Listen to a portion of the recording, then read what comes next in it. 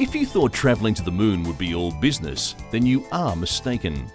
On his trip, Alan Shepard took along his clubs and ball and went out for a little game of golf.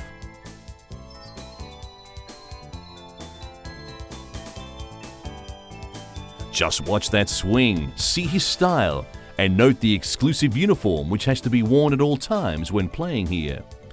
His game wasn't too bad when you consider this is a 5,500 yard fairway and a par 19. So if you want to join this exclusive club, just head for the moon.